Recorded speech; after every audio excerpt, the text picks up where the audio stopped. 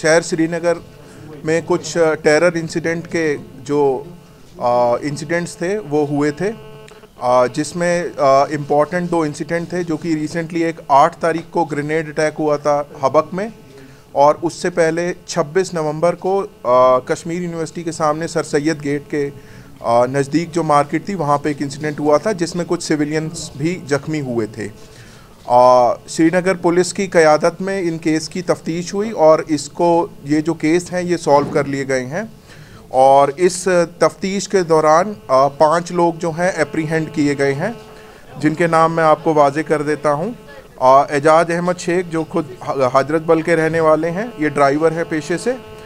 उमर हमीद शेख, ये भी हज़रत बल के रहने वाले हैं और ये रेडी फरोश हैं। तीसरा नाम है इम्तियाज़ अहमद। ये ये भी हज़रत बल के ही रहने वाले हैं और एक स्पोर्ट शॉप ओन करते हैं उसी इलाके में। चौथा नाम है साहिल अहमद साहिल फारूक गुजरी।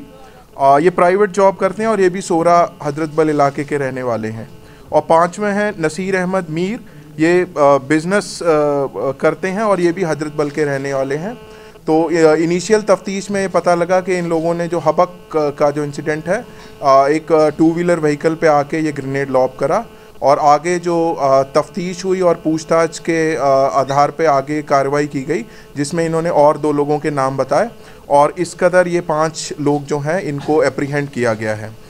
इस केस के दौरान कई जगह शहर श्रीनगर में सर्चेज और रेड्स भी की गई, जहाँ पे भारी मकदार में एक्सप्लोजिव सब्सटेंस बरामद की गई हैं।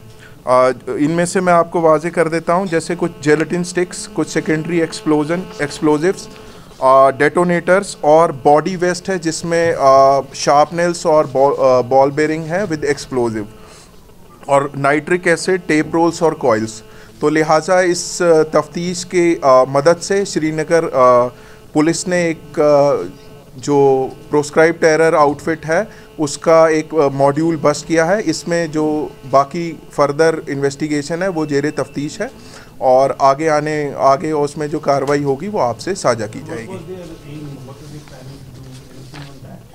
जहाँ तक ये हाँ उनका दो इनिशियल तफ्तीश के हिसाब से आ, इन लोगों का एक मकसद था कि जो जहाँ उस मार्केट में जो है कुछ दुकानें खुल रही थी और जो नॉर्मल ज़िंदगी गुजर बसर हो रही थी तो उसमें खलल वाक़ा डालने का एक इनका मकसद था।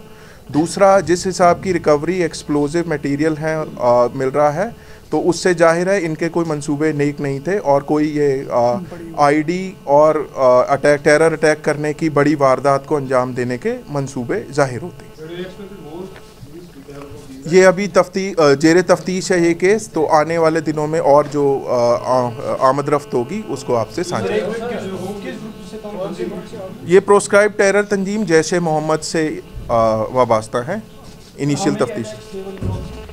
ये अभी तक की तफ्तीश में दो जो रिसेंट टेरर इंसिडेंट्स हैं ग्रेनेड लॉबिंग के वो इससे सॉल्व हो गए